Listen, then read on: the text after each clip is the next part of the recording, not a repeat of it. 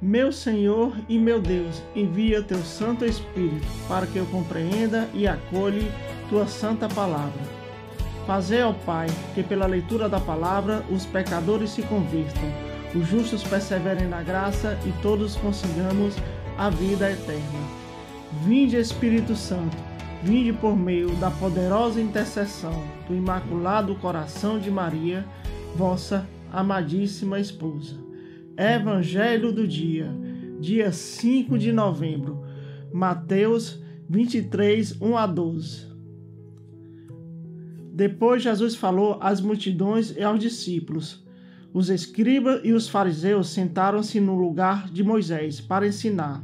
Portanto, tudo o que eles vos disserem, fazei e observai, mas não imiteis suas ações pois eles falam e não praticam, amarram fardos pesados e insuportáveis e os põem nos ombros dos outros, mas eles mesmos não querem movê-los, nem sequer com o dedo. Fazem todas as suas ações só para serem vistos pelos outros. Usam faixas bem largas, com trechos da lei e põem no manto franjas bem longas. Gostam de lugar de honra nos banquetes e dos primeiros assentos nas sinagogas, de serem cumprimentados nas praças públicas e de serem chamados de rabi.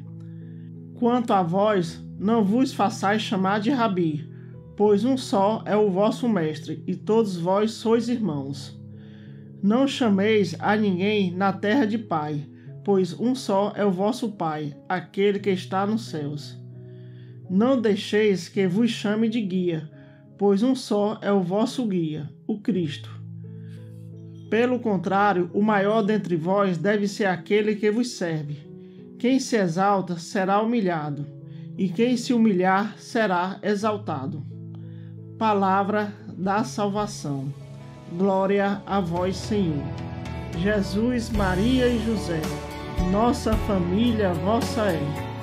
Iluminai, Pai Iluminai a vossa face sobre nós.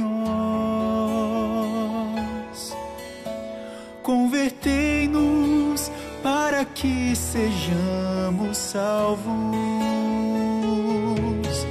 Iluminai a vossa face sobre